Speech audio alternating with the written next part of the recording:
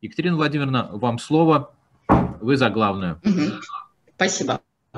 А, коллеги, сегодня я расскажу вам про базовый неврологический осмотр, который может провести, в принципе, любой доктор. Для этого не нужно ничего специфического на приеме, а для этого нужны руки, глаза и, в общем-то, это, ну, возможно, молоточек еще нужен.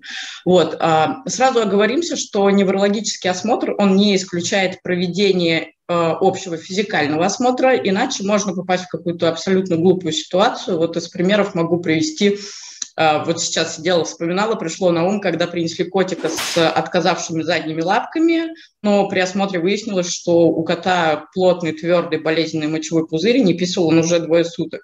В итоге, после того, как разрешилась его обструкция, лапки тоже восстановились. Поэтому а, всегда обязательно осматривайте сначала, проводите общий физикальный осмотр, потом уже приступайте к неврологическому. Если а, никто не против, я, наверное, видео отключу, чтобы весь экран был виден, и включу его в конце лекции. А, так, а, для чего же, в принципе, так, сейчас, секундочку, не листается у меня. А, нам нужен а, неврологический осмотр. Что он нам позволяет сделать? А, в первую очередь он позволяет определить, а связаны ли клинические симптомы, которые, с которыми пришли к нам владельцы животных, с заболеванием нервной системы. А, второе, что он позволяет нам выявить, это локализацию поражения в нервной системе. Хотя бы мы должны определить, что поражено – головной мозг, спинной мозг или периферическая нервная система. А, позволяет нам составить список дифференциальных диагнозов, потому что есть болезни, которые встречаются только в головном мозге, есть болезни, которые встречаются только в спинном мозге, или есть болезни только периферической нервной системы. Поэтому а, мы уже будем думать, какие же болезни будут именно вот в этой области. И определиться с планом дальнейшей диагностики, что будете делать дальше. Да? Это будет МРТ, это будет а, КТ, Э, какие-то электродиагностические э, тесты или проверка на инфекции. И э, неврологический осмотр, надо об этом помнить, что он не позволяет поставить диагноз окончательный. Вы в большинстве случаев этого на осмотре не сделаете. Вы определите локализацию, составите список диагнозов возможных и будете проводить дальнейшую диагностику, чтобы уже установить, что же произошло. А, какой план неврологического приема? В первую очередь это сбор анамнеза.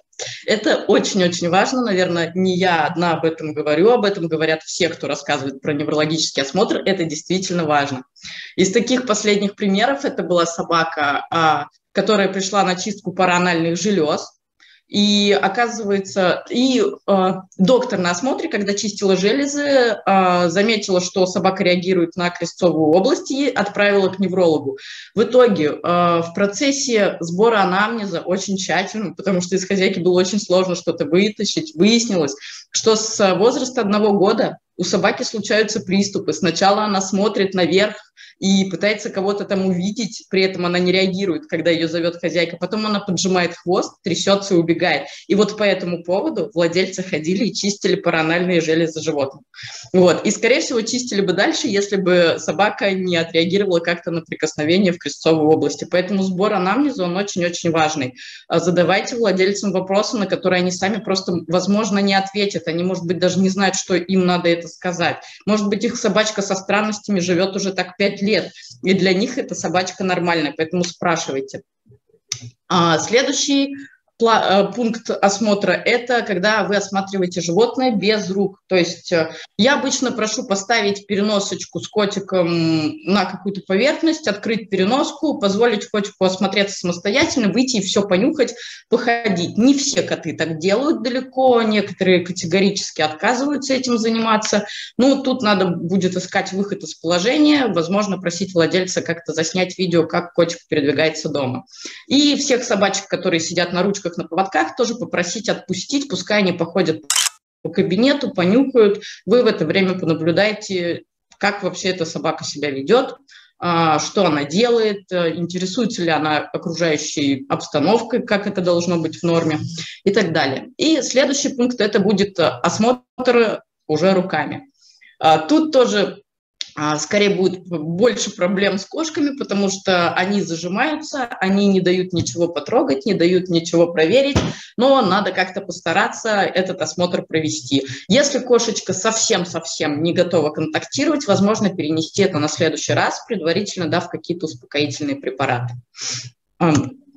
Что мы оцениваем, не трогая животное? Ну, в первую очередь, мы, конечно, можем видеть э, наличие, какое сознание у животного. Оно может быть нормальным. Это животное, которое э, активно реагирует на все, что происходит вокруг, отслеживает э, там наши движения, действия, интересуется окружающей обстановкой. То есть оно включено в в этот момент во все происходящее. Вот так вот примерно как лабрадор выглядит животное с нормальным сознанием. Следующий такой более подавленное сознание, это будет депрессия, оглушение. Это когда животное сидит, но вот оно вялое и не очень хочет контактировать, и не очень-то ему интересно, что вокруг происходит.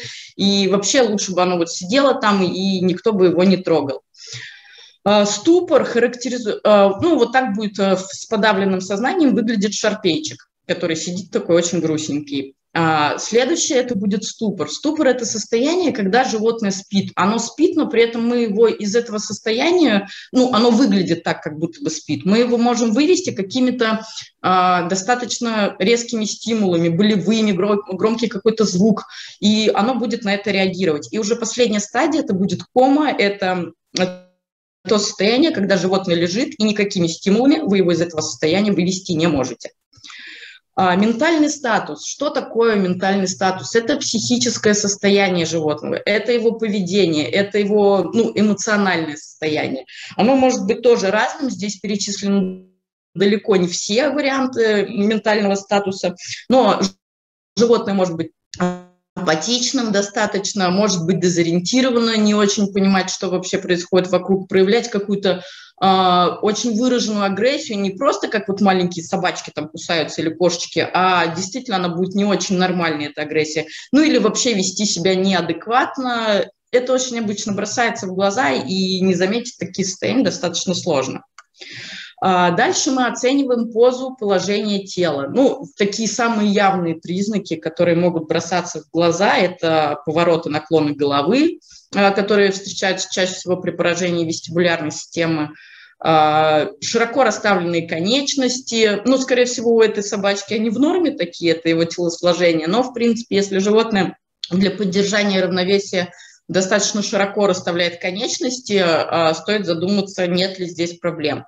А, наверняка все видели таких такс, у которых изогнута спина. А, мы смотрим, нет ли каких-то да, изменений в позвоночнике. Это может быть кифоз, лордоз, сколиоз или какое-то аномальное расположение одной из конечностей. А, сразу вспомним, как называется поражение конечности, чтобы дальше можно было понимать. Если поражается одна конечность, неврологии э, будет потеря чувствительности или полная потеря двигательной активности, то это будет называться монопарез или моноплегия. Если будут поражаться две конечности с одной стороны, то это будет называться гемипарез или гемиплегия. Если поражаются две конечности тазовые или две грудные, то тогда в этом случае это будет называться парапарез, параплегия. И если поражаются все четыре конечности, то это называется тетрапарез, тетраплегия. А, какие еще позы мы можем сразу же увидеть? А, так, может быть, это как-то можно спрятать, нет, а, на осмотре. Децеребрационная ригидность, это выглядит так, что у животного разогнуты все четыре конечности, и голова запрокинута назад. При этом сознание чаще всего нарушено, и вот такая поза будет указывать на поражение среднего мозга. Есть децеребляционная ригидность. А, она проявляется в том случае, когда поражается мозжечок. При этом мы будем видеть разгибание грудных конечностей, тазовые конечности могут быть согнуты или выпрямлены, сознание чаще всего будет не нарушено в этой ситуации. И есть еще такая поза Шиф-Шерингтона, которая э, будет проявляться при достаточно серьезном поражении спинного мозга в сегменте Т3-Л3. А при этом мы будем видеть гипертонус грудных конечностей, нормальный или повышенный тонус тазовых конечностей. Ну и чаще всего животное в этот момент также в сознании, потому что поражение происходит не в головушке. Оцениваем походку. А, что мы можем увидеть? Атаксия. Атаксия – это нарушение координации движений. То есть это когда животное идет, и идет оно как-то очень странно. Атаксия бывает трех видов. Первое – проприоцептивная невро извиняюсь, проприоцептивная атаксия. Это когда нарушено чувство осознания положения собственного тела в пространстве. Чаще всего э, при проприоцептивной атаксии мы можем видеть перекрещивание лапок, э, при осмотре мы увидим стирание а, пальчиков на дорсальной поверхности. Животное располагает свою конечность не по центрам тяжести. Часто это хорошо видно при поворотах. То есть вы просите владельца пройти с животным, а, повернуть э, в одну сторону, в другую, и животные очень часто неправильно ставят лапку, падают. Ну, тоже очень важно попросить пройтись, если там собака крупная, в кабинете у вас места не хватает. А, также атаксия может быть мозжечковая, которая связана с поражением мозжечка. Мозжечок – это такой координ, э, координационный центр, а, который помогает э, делать точные движения. А, в этой ситуации мы увидим движение с неправильной амплитудой, какое-то чрезмерное выбрасывание конечностей вперед. Ну, да, вперед чаще всего. И атаксия может быть вестибулярной. А, в этом случае мы будем видеть кружение, потери равновесия. Очень часто животные выглядят так, как э, пьяные моряки на палубе их качает, они пытаются удержать это равновесие, у них не всегда получается, они могут падать. А, также может присутствовать роллинг, это когда животное вот как ролл такой крутится вокруг своей оси. А, можем увидеть хромоту. Тут важно понять, какого характера хромота. Она может быть ортопедическая, она может быть неврологическая. Если у вас есть навыки проведения ортопедического осмотра, проводите его сразу тоже. Если нет, зовите доктора-ортопеда, если есть какие-то сомнения. Чаще всего ортопедическая хромота, она будет опорного типа, животное ставит конечность, прихрамывает или, например, держит конечность на весу, Неврологическая часто выглядит так, как будто бы животное эту конечность волочит за собой или куда-то ставит неправильно в сторону, ставит на дорсальную поверхность. А, при поражении а, спинномозгового корешка животное может поджимать конечность, как и при ортопедической хромоте, потому что там присутствует очень выраженный болевой синдром. Поэтому, если есть ортопед, зовите его на помощь. А, дальше мы проводим пальпацию животного для того, чтобы а, выявить боль. А, мы пальпируем голову, пальпируем мышцы на голове, пальпируем в области висков, пытаемся немножечко сжать голову, проверить, нет ли болезненности. Открываем ротик, чтобы посмотреть, нет ли болезненности при открытии рта, что может быть связано с поражением бул внутреннего уха или, например, с поражением нижнечелюстных суставов. А, трогаем шею. Начинаем трогать всегда немножечко поглаживая, для того, чтобы не пугать животное. Если его сразу схватить за шею и начать мять, оно в любом случае будет напрягать эти мышцы. Поэтому осторожненько погладили, начинаем прощупывать, напряжены ли мышцы или они расслаблены. Осторожно поворачиваем голову из стороны в сторону, вверх-вниз. Резкие движения делать не нужно а, потому что можно усугубить процессы, которые, если есть какая-то патология в шейном отделе. Дальше пальпируем грудные конечности, прощупываем мышцы, а, оцениваем с двух сторон, чтобы они были симметричны, чтобы они были удовлетворительно развиты. Отмечаем, есть ли атрофия, гипотрофия. А, дальше пальпируем позвоночник. Это делается нажатием двух пальчиков. Ставите два пальца в область между остистыми отростками, нажимаете и при этом сводите пальчики между собой, таким образом вызывая компрессию в межпозвонковой области. А делать это можно начинать сначала потихонечку, потом посильнее, потом еще посильнее. Да, сразу сильно не надо давить, потому что, возможно, животное, у которого даже нет проблемы, в этот момент может выгнуться как-то или продемонстрировать, продемонстрировать демонстрировать дискомфорт. А, также а, нужно осмотреть паравертебральные мышцы, сначала поглаживанием, затем прощупать, не напряжены ли они, потому что когда есть какой-то патологический очаг, мышцы стараются это компенсировать, сжать, а, зафиксировать, чтобы дальше не, развивался, не развивалось поражение, чтобы этому очагу было комфортно. Так же, как и грудные конечности. Прощупываем тазовые, да, не забываем сгибать и разгибать в суставчиках конечности, чтобы посмотреть, а нет ли боли где-то в суставе. И проверяем хвост. Э, с хвостом мы делаем э, то же самое, что с шеей, поворачиваем его во все стороны, вверх, вниз, вправо, влево, для того, чтобы оценить, нет ли болезненности. А, дальше а, можно начать с проверки постуральных реакций. Вот мне кажется, что животные видят это примерно вот так, что они обычно вообще не понимают, что с ними делают, зачем с ними это делают, они жалобно смотрят на своих владельцев, но нам необходимо это посмотреть, чтобы выявить неврологический дефицит.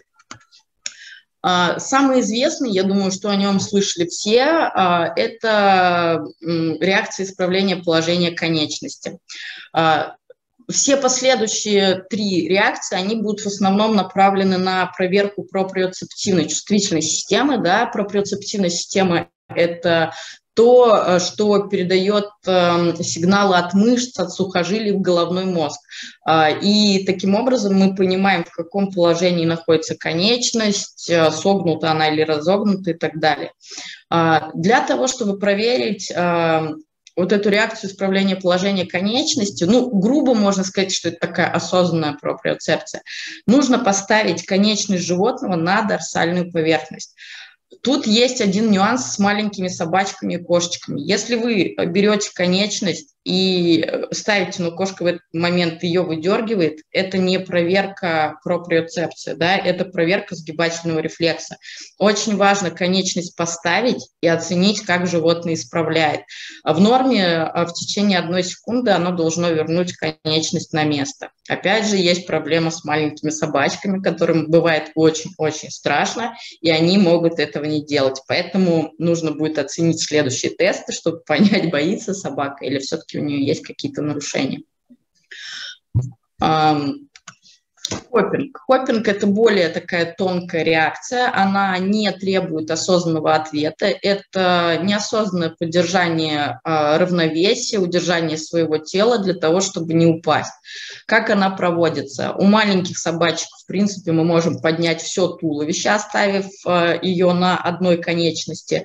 Если мы оставляем правую конечность на столе, то начинаем толкать в правую сторону животное, и в норме оно должно переставлять конечность конечность, чтобы поддержать свой вес тела. У крупных собак поднять их достаточно сложно, поэтому мы поднимаем просто одну конечность и толкаем в сторону этой конечности. В норме животное быстренько переставляет, чтобы не упасть. Так проверяем на всех-всех конечностях. Можно провести еще, э, подняв одну левую тазовую конечность и левую грудную конечность и толкая в бок, чтобы посмотреть, как работают правые лапки. И то же самое можно с левыми сделать. А, реакция опоры. А, эта а, реакция, она а, связана с проприоцептивной системой и с оценкой зрения тоже может быть связана. Она делается двумя способами. Сначала животное видит, как его подносят к какой-то поверхности, и во втором случае глазки ему закрываются. А, так проделывается с каждой лапой. В норме, если глаза открыты, то когда мы подносим к поверхности, животное еще не успевая ее коснуться, должно выставить лапку вперед, чтобы поставить на поверхность. В случае, когда мы закрываем ему глаза, мы должны поднести к краешку стола, например, и как только лапка дотронулась, животное ставит а, свою лапку в норме на стол. Если этого не происходит, соответственно, у нас есть нарушение. А, Постуральная реакция разгибателей. Тут э, участвуют и вестибулярные системы, и проприоцептивная система. Как это делается? Ну, у котика на видео с этой реакцией вообще все в порядке, он ее выполняет абсолютно без какой-либо помощи. А для этого животное поднимается, удерживается под грудь, поднимается наверх. Дальше а, ставится на какую-либо поверхность. В этот момент животное должно разогнуть лапы для того, чтобы встать на поверхность. И дальше вы немножечко толкаете его назад. Таким образом вы отмечаете, а, насколько хорошо шагает назад, насколько симметрично это делает, что обе лапки в этом задействованы одинаково. Можно определить тоже, есть ли какие-то нарушения. Тест тачка. А, он проводится а, путем поднимания таза у животного и толкания его вперед, чтобы оно передвигало а, грудными конечностями. А, можно еще, если мы хотим проверить вот только проприоцептивную систему, чтобы не было задействовано никаких других систем, в этом случае поднимается голова и толкается животное вперед. Также смотрим, чтобы обе лапки а, шли симметрично, никакая не подтягивалась и не уходила никуда в сторону. Спинальные рефлексы. Это следующее, что мы будем проверять. Здесь написан сайт, на котором есть очень-очень крутые видео по рефлексам и некоторые картиночки взяты именно с этого сайта. А, здесь представлена табличка по рефлексам, и от, из какого сегмента спинного мозга выходят э, нервы, да, для, которые нервируют э, мышцу, когда мы проверяем этот рефлекс. Основные рефлексы, которые мы будем прови- э, проверять, это рефлекс отдергивания э, грудных тазовых конечностей, это будет э, коленный рефлекс, э, и периниальный рефлекс. Остальные рефлексы тоже проверяем, но не всегда удается на грудных конечностях, например, увидеть, если животное сильно напряжено, сильно боится. А, сгибательный рефлекс, а, сегменты а, спинного мозга, из которых выходит аксон, находятся для грудной конечности C6, T2, для тазовой конечности L4, S1.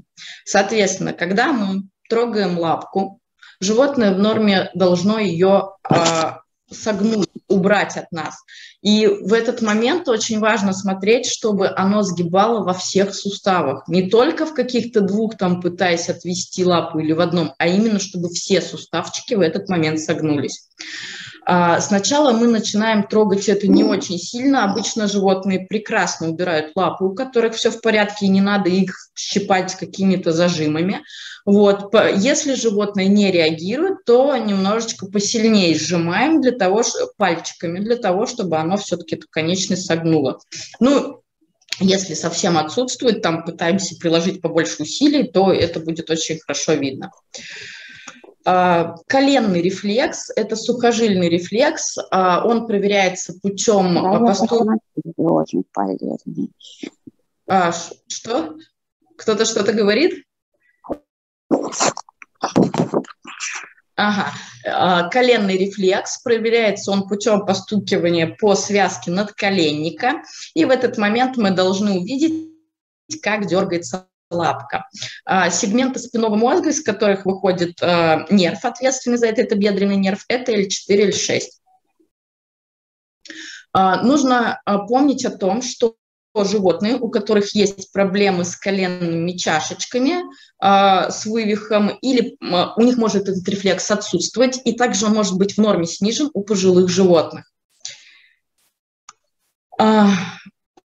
Э, да, а если вот за коленный рефлекс мы в основном оцениваем у нас а, бедренный нерв, да, то за сгибательный рефлекс будет ответственен в тазовых конечностях седалищный нерв. В грудных конечностях за это ответственно несколько нервов. Фуникулярный рефлекс – это когда мы начинаем а, или покалывать вдоль позвоночника, или чем-то зажимчиком немножечко щипать, и в норме мы должны увидеть а, сгиб, а, такое сокращение кожи. Это обеспечивается тем, что а, идет стимул в шейные сегменты, оттуда выходит латеральный грудной нерв по обе стороны и вызывает сокращение мышц кожи. А если будет какое-то повреждение в спинном мозге, а, то, которое затронет проводящие пути, то тогда а, мы увидим отсутствие этого рефлекса примерно на 1-2 сегмента ниже повреждения. И периниальный рефлекс, его центры находятся в сегментах спинного мозга S1, S3. Проверяем мы его, проводя ватной палочкой или чем-нибудь еще в области промежности. В норме мы должны увидеть сокращение ануса, и животное опускает хвостик, прикрывает. Дальше, для того, чтобы, э, когда мы посмотрели животное и выявили какие-то отклонения по рефлексам, мы вообще должны понимать, да, а в каком сегменте-то это произошло. Для этого нам нужно понимать, что такое центральный двигательный нейрон и периферический двигательный нейрон. А, центральные двигательные нейроны, они расположены в головном мозге, и своими аксончиками они соединяются с периферическими двигательными нейронами, которые расположены в вентральных рогах спинного мозга. А, и а, вот эти вот периферические двигательные нейроны, мы сейчас будем говорить о тех, которые находятся в шейном утолщении и в поясничном утолщении, и оттуда идет иннервация конечностей, они периферические двигательные нейроны, они уже непосредственно соединяются с мышцами и регулируют их работу. И если их оставить одних без какого-либо контроля, будут они выглядеть примерно вот как Том и Джерри на картинке. Они будут там творить свои дела, будут э, повышать тонус мышц, будут э, сохранять или усиливать рефлексы в конечностях и Поэтому, если их не контролировать, то выглядеть это может достаточно странно быть для животного. Все время в тонусе мышцы, у него, конечно же, будет нарушение походки. Поэтому для этого есть центральный двигательный нейрон, который будет подавлять нижние моторные нейроны, и в итоге мы будем видеть слаженную работу конечностей, животное будет нормально ходить, будет нормальный тонус мышц, будут нормальные рефлексы. А наглядно это выглядит примерно так. Желтенький – это центральный двигательный нейрон, и синенький – это периферические двигательные нейроны. Конкретно в этой ситуации мы рассматриваем в шейном и поясничном утолщении. Для меня это выглядит примерно так. Конечно, на деле такого не будет, если будет у нас работать а, только э, нижний двигательный нейрон, конечно, никаким, никакая мышечная масса нарастать не будет. Но если будет поврежден центральный двигательный нейрон и будет потеря контроля над нижним, то тогда будет происходить примерно то, что я рассказала. Да? Конечности будут а, в тонусе, рефлексы могут быть повышены. Если повредится у нас наоборот периферический двигательный нейрон, то центральный подавит его настолько, что мышцы, э, конеч... мышцы станут вялыми, конечности тоже будут такими вот какими-то вяленькими, дряблыми, и все рефлексы будут снижены. Вот так вот это будет выглядеть при повреждении э, или центрального, или периферического двигательного нейрона. Какие будут встречаться симптомы? Если э, будет поражен периферический двигательный нейрон, то тогда у нас а, двигательная функция будет от пареза до паралича, и мышцы будут вялые. Будет развиваться достаточно быстро мышечная атрофия, и могут развиваться контрактуры. Мышечный тонус будет, будет снижен, и будет нарушение чувствительности в этих конечностях. Будут снижены рефлексы они будут снижены или отсутствовать полностью. Если будет поражен центральный двигательный нейрон, то тогда мы будем видеть э, парез или паралич, при этом будут э, мышечные спазмы. Ну, не всегда, но часто. Развивается мышечная атрофия при этом достаточно поздно, и она бывает легкой. И животное в этой ситуации может не пользоваться конечностью. Мышечный тонус будет от повышенного, от нормального до повышенного и будет э, снижение восприятия боли на этих конечностях. Рефлексы будут в норме или усилены. Теперь немножечко рассмотрим, может быть, чтобы стало попонятнее, возможно, запутаю до конца. Что будет происходить при поражениях э, в различных областях спинного мозга? Нервной системы, не спинного мозга, нервной системы. Если поражение произойдет в голове, что мы или в верхнешейном отделе, что мы будем видеть?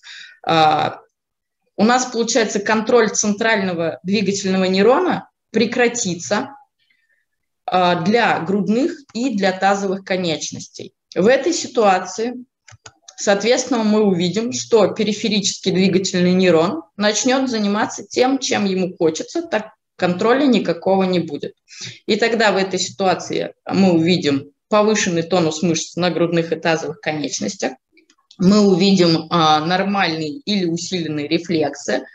А, атрофия мышц будет развиваться достаточно медленно и будет нарушение чувствительности. Если же поражение у нас произойдет в сегменте спинного мозга C6-T2, вообще функционально мы делим спинной мозг на 4 сегмента. Это C1, C5, C6-T2, Т3, Л3 и L4S3. И будем рассматривать поражение вот по этим сегментам. Например, вы осмотрели животное, выявили у него вот такие-то рефлексы и определили, что вот вам нужно посмотреть сегмент C6D2. С этим вы его и направляете на МРТ. Да, они, чтобы вам понять даже, а, а что нужно посмотреть на МРТ, потому что МРТ всего позвоночника владельцам, скорее всего, обойдется очень-очень дорого. Так вот, если поражение произошло в сегменте C6T2, тогда у нас будет поражение периферического двигательного нейрона. В этой ситуации действие центрального двигательного нейрона прекратится на тазовые конечности, и при этом а, мы увидим опять, что а, в области поясничного утолщения начнется хаос, и там будут творить моторные нейроны все, что хотят, и тогда мы увидим нормальный или повышенный тонус мышц, нормальные или повышенные рефлексы. А в грудных конечностях э, действие центрального двигательного нейрона настолько усилится, что конечности будут вялыми, рефлексы будут снижены и будет достаточно быстро развиваться мышечная атрофия. Если поражение произошло в области спин, э, в сегменте спинного мозга Т3Л3, в этой ситуации грудные конечности у нас останутся абсолютно нетронутыми. Если только это не э, синдром Шиф-Шерингтона, но это отдельный разговор. Э, и тогда влияние центрального двигательного нейрона на поясничное утолщение прекращается, и мы видим повышенный тонус, нормальные или повышенные рефлексы и э, ну, парез или паралич, нарушение чувствительности. Если поражение происходит в области L4S3, в этой ситуации мы, э, грудные конечности останутся не затронутыми, а в тазовых конечностях настолько усилится влияние центрального двигательного нейрона, его подавление, что мы увидим вялость, э, снижение или отсутствие рефлексов и достаточно быструю атрофию мышц. А, примерно так это будет выглядеть, если все это собрать в табличку. А, эта картиночка, ее можно найти фактически везде, поэтому я, наверное, не буду по ней рассказывать. Мы будем видеть при поражении конечности атаксию, тетрапорез, тетраплегия, а, если это, шейный, если это шейный сегмент, ну и так далее. Все это я сейчас рассказала уже. Проверка глубокой болевой чувствительности. Ну, первое, о чем хочется сказать, если животное ходит, наверное, не, не имеет смысла зажимать ему пальцы зажимами и делать больно. В большинстве случаев это не нужно, если животное способно самостоятельно передвигаться. Второй момент, что э, эти пути, они идут до головного мозга, и очень важно понять, что мало того, чтобы животное просто конечность отдернуло. Это будет как раз вот местный сгибательный рефлекс, который замыкается, тут же его рефлекторная дуга в сегментах спинного мозга, никуда в головушку это не идет. Тут важно, э, чтобы животное отреагировало на ваши действия, э, повернуло голову, попыталось укусить, закричало, но в конце концов зрачки, что расширились, э, потому что ему больно в этот момент. Не знаю, будет ли видео прогружаться. Вот, отлично. Здесь проверяют глубокую болевую чувствительность, и мы видим, что животное пытается лапку оттянуть, но это только рефлекс сгибательный. Головой при этом животное не реагирует абсолютно никак, не пытается ни повернуться, ни посмотреть. А, то есть э, этот рефлекс, глубокая болевая чувствительность у животного нарушена. В норме это должно выглядеть примерно вот так, потому что когда сжимают э, зажимом косточки, то очень-очень больно. Черепные нервы. Первое, что мы можем проверить, это реакция угрозы. А эта реакция развивается а, постепенно, это неврожденный рефлекс. А после 12 недель мы оцениваем у щенков и котят эту реакцию. Раньше нет смысла, и если ее нет, это не будет считаться патологией. В реакции угрозы э, участвует зрительный нерв, конечный мозг, ствол мозга, мозжечок и лицевой нерв. А, мы закрываем животному один глазик, и второй рукой, а, где открытый глаз, совершаем угрожающие движения. Для того, чтобы это было корректно, лучше или растопырить пальчики, чтобы не создавать воздушную волну, и животное не среагировало именно на это, или можно это просто двумя пальцами делать. В норме животное должно закрыть глаза на каждое ваше движение, приближение к нему ладошки. И так мы проверяем с обеих сторон. Один глаз закрыли, проверили, второй глаз закрыли, проверили. Тест с ватным шариком – это оценка зрения. У собак можно проводить с ватным шариком, у кошек очень удобно проводить лазерную указку, например. То есть вы показываете кошке огонек, и они вполне хорошо реагируют на него. А, как проводится? Мы кидаем ватный шарик, и животное на это реагирует. Что очень важно, а, кажется, что собака посмотрела на этот шарик, когда он упал, но на самом деле это не так. Мы видим, что он падает, и движение глаз начинается в тот момент, когда шарик еще в воздухе. Соответственно, никаких звуков собака слышать не могла. И хотя вата очень легкая, от нее точно бывает звук. Вот, поэтому можно просто потом э, как-то несколько раз это повторить э, или посмотреть в замедленной съемке. Э, положение глазного яблока. Э, оно регулируется основными э, тремя нервами. Это третья, четвертая шестая пара, глазодвигательный, блоковый отводящие нервы. Если мы видим изменение положения глазного яблока, мы можем думать на то, что присутствует их поражение. Это может быть, когда глазик уходит вниз и в сторону, это будет вентролатеральный стробизм. Это может быть медиальный стробизм, а, ну, косоглазие, стробизм – это одно и то же. И это может быть, когда глазик немножечко смотрит в сторону и вверх. А, мы оцениваем размер зрачков. В норме у животных зрачки должны быть одинакового размера. Если зрачки э, разного размера, то опять же начинаем подозревать какую-то патологию. Но тут важно поработать, наверное, с офтальмологом, исключить какие-то первичные заболевания именно самого глазика. Вот. Как определить, какой зрачок ненормальный, мы проверяем реакцию зрачка на свет. Тот зрачок, который реагирует, скорее всего, нормальный, тот, который не реагирует, будет ненормальным. А, иннервация зрачка, мышцы дилататора и сфинктера зрачка, они иннервируются симпатической, парасимпатической нервной системой. При а, влиянии симпатической нервной системы зрачок будет расширяться, при влиянии парасимпатической зрачок будет сужаться. Нистагм. Нистагм – это э, движения глаз, э, которые могут быть в норме, или физиологический нистагм, когда мы поворачиваем голову.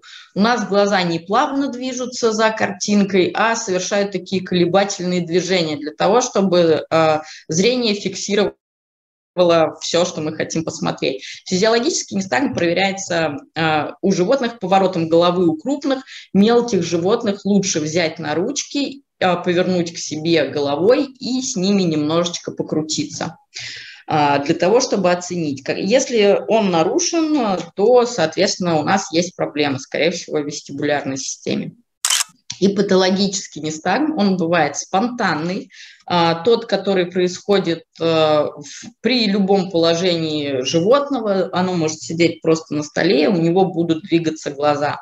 И он может быть позиционный, когда вы изменили положение животного, например, положили его на спину а, или как-то запрокинули ему голову, и появляется движение глаз ненормальные, которых быть не должно.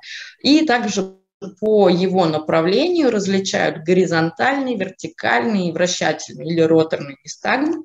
При этом э, вертикальный нестагм будет только при поражении центральной вестибулярной системы, в то время как э, горизонтальный и вращательный могут встречаться и при поражении периферической вестибулярной системы. А, что-то сейчас еще хотела сказать про это, про нестагм. Забыла. Ага, да, как мы оцениваем нестагм, мы его оцениваем по быстрой фазе, а, то есть, получается, глазик как бы убегает от места поражения. Если у нас быстрая фаза идет вправо, то поражение, скорее всего, будет с левой стороны. И описываем мы э, по быстрой фазе. Так, да, все верно, описываем по быстрой фазе. Маятниковый нестагм выглядит, э, я сейчас включу видео, это вот таким вот образом. И а, в норме он может а, встречаться у сиамских кошек. В принципе, такое у них допустимо, так же, как и стробизм. И э, спонтанный нестагм – это вот когда животное сидит, ничего с ним не происходит, ничего не делает, а глазки бегают в разные стороны. Позиционный нестагм – это когда перевернули животное на спину, и в этот момент стали бегать глазки. Также мы видим у этой собачки вентролатеральный стробизм слева – и вертикальный нестагм. А, зрачковый рефлекс. Мы его проверяем, а, когда мы светим в глазик животному ярким светом. А, в этом рефлексе участвует зрительный нерв, ствол мозга и глазодвигательный нерв, который сужает зрачок. Когда посветили животному ярким светом, то зрачок в норме должен сузиться как на стороне, в которую мы светим, так и во втором глазике. Это важно оценивать, потому что а, путь зрачкового рефлекса, он, а, мы помним, что есть у нас перекрест зрительных нервов, и, соответственно, а, сокращение зрачка будет с обеих сторон. Таким образом, мы оцениваем прямую реакцию зрачка на свет и содружественную. Ну, делается это достаточно просто. Вот здесь мы оцениваем содружественную, так, вот здесь вот прямую, да, светим в глазик, сейчас будет с другой стороны очень хорошо видно, посветили, зрачок сократился. И когда сократился зрачок глаза, в котором мы светим, мы сразу же проверяем, чтобы был сокращен зрачок и на втором глазике. Пальпебральный рефлекс э, мы оцениваем путем прикосновения к внешнему или внутреннему углу глаза. Таким образом, мы оцениваем в основном тройничный нерв э, и э, лицевой нерв. А, тройничный нерв – это чувствительная информация, он проводит ее в головной мозг, и лицевой нерв, он закрывает глазик, закрывает веки. А, тихонечко дотрагиваемся. Для того у тройничного нерва есть три ветви. А, есть эм, верхнечелюстная, есть нижнечелюстная ветвь и есть офтальмологическая ветвь. Проверяем глазик, дотрагиваясь до медиального угла глаза, и в норме животное должно закрыть глаз. А, также мы проверяем верхнечелюстную ветвь, дотрагиваясь до латерального угла глаза. В принципе, принцип действия такой же. Участвуют все те же самые нервы, только ветвь тройничного нерва другая. А, для того, чтобы оценить нижнечелюстную ветвь, а, для этого мы а, пальпируем мышцы массетеры. Если будет поражен тройничный нерв, мы очень часто увидим, что выглядеть они будут примерно вот так вот, как у этой собаки. Их фактически не будет. А, и а, когда встречается, например, идиопатический неврит тройничного нерва, владельцы приходят и говорят, у нашей собаки вот вся голова впала куда-то и ничего не осталось. А, при этом также может отвисать челюсть нижняя, животное будет не способно самостоятельно даже нормально принимать пищу, потому вы закрываете челюсть, и она отвисает обратно. Ну и также мы это оцениваем на осмотре, когда мы разжимаем челюсть, и сопротивление должно быть достаточно активным. А, в этот же момент у некоторых животных можно проверить гэк-рефлекс или глоточный рефлекс, немножечко засунув пальчик в рот, но не всегда это стоит делать, потому что можно остаться без пальчиков. В этот момент животное должно э, сглотнуть, потому что происходит сокращение мышц глотки, и э, чаще всего облизывается. Также, когда открываем рот, оцениваем язычок, чтобы он был симметричен, он был подвижен и не было никаких отклонений. Стимуляция слизистой оболочки носа. А, в этом рефлексе участвует а, тройничный нерв, конечный мозг и ствол мозга. Ну, а, в этот момент мы трогаем ватной палочкой ноздри у животного, закрыв ему глаза, чтобы не было, что оно отдергивает голову, когда мы подносим только палочку. Да? И в норме животное должно убрать голову. Роговичный рефлекс, он оценивается путем прикосновения увлажненной ватной палочкой к роговице глаза. В этом рефлексе участвуют тройничный нерв, отводящий нерв и а, лицевой нерв, и также ствол мозга. В норме, когда вы дотронулись до глаза, а, глазик должен как бы немножечко уйти обратно и закрыть веки животное должно. Угу. Вот так вот это выглядит.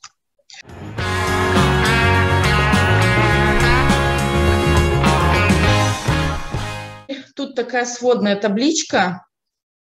Так, а, если а, мы находим какие-то отклонения, то где мы должны искать поражение. А, это так очень приблизительно, но если мы видим судороги, какие-то нарушения сознания, нарушения поведения, мы подозреваем конечный мозг. А, если есть нарушение сознания, в этом также может участвовать и ствол мозга. При нарушении зрения будем искать проблемы в глазике, в самом в зрительном нерве, в затылочной коре головного мозга, в хиазме. Хедпрессинг – это упирание головой в стену, и часто такая проблема присутствует при нарушении в, в конечном мозге. Кружение. Оно может быть с потерей равновесия или без потери равновесия. Кружение – это хождение в одну сторону, вправо или влево. При потере равновесия мы чаще будем подозревать вестибулярную систему проблемы. Если равновесие не теряется, то конечный мозг, потому что при новообразованиях Животное также будет ходить по кругу. Наклон головы, нистагм, падение, роллинг мы будем подозревать при патологиях вестибулярной системы. Пальпебральный рефлекс. Как я говорила, в его а, в этом рефлексе участвуют пятая и седьмая пара, лицевой и тройничный, и ствол мозга. А, реакция угрозы. А, тут важно помнить, что это перекрещивающийся рефлекс, да, то есть переходит на другую сторону, на, в контрлатеральную моторную кору и чувствительную моторную. И поэтому а, в нем участвует зрительный нерв, конечный мозг, ствол мозга, мозжечок и лицевой нерв, который закрывает глазик. Стробизм.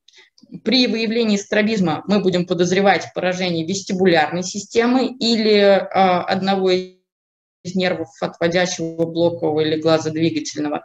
При дисфагии, нарушении глотания, это мы можем проверять или на приеме, как я говорила. А еще можно попытаться сжать а, в области глотки, чтобы животное сглотнуло.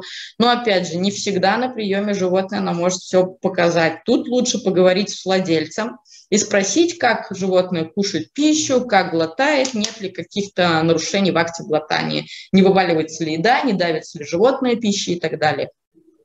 А, в акте глотания участвует а, языкоглоточный, блуждающий нерв, каудальная часть ствола мозга. А, Дропит Джо – это отвисающая челюсть, и это то, вот, о чем я рассказывала, будет присутствовать при билатеральном поражении пятой пары черепных нервов, хроничного нерва. Паралич глазного яблока, губ, ноздрей или уха мы будем выявлять при поражении лицевого нерва, так как он иннервирует всю лицевую мускулатуру. Мегаэзофагус, паралич гортани, будет встречаться при поражении десятой пары черепных нервов, блуждающего нерва. Г-рефлекс или глоточный рефлекс а мы оцениваем а, языкоглоточный блуждающий нерв и ствол мозга.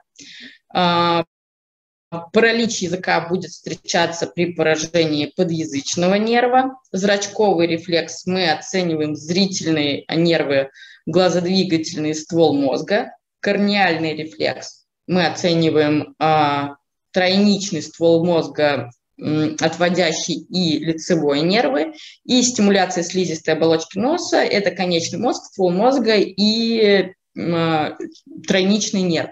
Зачем все это оценивать? Да, вроде как оценили там, не знаю, тройничный нерв на каком-нибудь одном из рефлексов, но бывают очень спорные моменты и не очень понятно, например, при пальпебральном рефлексе. А какой а, нерв поврежден? Он не чувствует чувствует и тройничный не проводит, или он не может закрыть глаз, потому что лицевой не работает.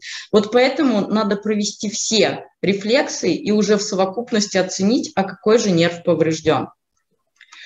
По спинному мозгу а, по сегментам, а, если все это подытожить, то будет выглядеть примерно так, что ментальный статус будет, в принципе, а, при поражении спинного мозга фактически всегда в норме. При поражении верхних шейных отделов бывают какие-то нарушения, но это редкость. Положение тела или поза будет часто широкая постановка конечностей, будет лежачее положение и будет нормальное положение шеи или скованность при э, поражении шейных сегментов. А, может быть искривление позвоночника, и мы часто видим это у такс при поражениях в сегменте Т3, Л3 и, или в хвостовых сегментах. Они пытаются попу немножечко поджать. А, при оценке шага мы будем нарушения видеть, это будут порезы или, пар, а, или плегии. При этом, а если будут поражены C1, C5, то все четыре конечности и C6, T2 мы тоже можем видеть на всех четырех конечностях, но при этом на грудных будет, будут снижены все рефлексы, а такси будем видеть на тазовых. Еще есть такой вот при поражении в этом сегменте мы очень часто можем видеть очень короткие шажки грудными конечностями и э, такие размашистые шаги тазовыми конечностями. Это так называемая двухмоторная походка. А, при э, поражении в сегментах Т3, Л3 мы будем видеть парапарез или параплегию на тазовых конечностях, грудные останутся в норме, и при поражении Л4, С3 мы будем видеть парапарез или параплегию тазовых конечностей, и при этом грудные не будут затронуты. А черепные нервы в основном будут в норме, не считая шейных сегментов, потому что оттуда идет э, иннервация, может быть, синдром Горнера, потому что оттуда идет, господи, симпатическая иннервация, и поэтому мы можем видеть птоз, миоз и энофтальм. И спинальный рефлекс будет при поражении C1, C5 гиперрефлексия всех конечностей или нормальные рефлексы. При поражении C6, T2 на грудных конечностях будут рефлексы снижены на тазовых нормальные или повышенные. При поражении Т3, Л3 на тазовых будут нормальные или повышенные, на грудных не затронутые. И при поражении Л4, С3 на тазовых конечностях будут снижены или отсутствовать, грудные будут не затронуты. Боль э, в области позвоночника может присутствовать или отсутствовать при поражении в любом из отделов. Э, болевая чувствительность может быть нормальной или сниженной, или отсутствовать. И мочеиспускание может быть в норме, а может быть нарушено тоже в зависимости от того, какой сегмент спинного мозга будет поражен. Э, такие будут нарушения. В общем-то, на этом, наверное, все. Вот а, и по базовому неврологическому осмотру, мне кажется, ну, этого вполне хватит для того, чтобы понять, где локализуется поражение и какую диагностику в дальнейшем мы будем проводить. Благодарю вас за эту прекрасную лекцию, Екатерина Владимировна. Было, признаюсь, прям хорошо, напряженно, информации очень много. Даже я очень много тут узнал сегодня. Вот, надо теперь это все переварить. Вот. Ну, да. Да, но Согласна. очень поучительно, очень классно, очень толковая, содержательная, информационная презентация и слайды. Прям супер. Огромное вам спасибо. Вот, спасибо. огромное спасибо участникам, которые с нами все это выдержали сегодня, кто с нами остался, от нас не ушел. Вот, теперь тогда мы до встречи на следующей неделе. Встречаемся также в пятницу в 10 часов. Нас ждет следующий блок наших лекций. Следите за анонсами мероприятий в наших соцсетях. Ну, на сегодня мы прощаемся. До новых встреч. Спасибо огромное. До свидания. До свидания.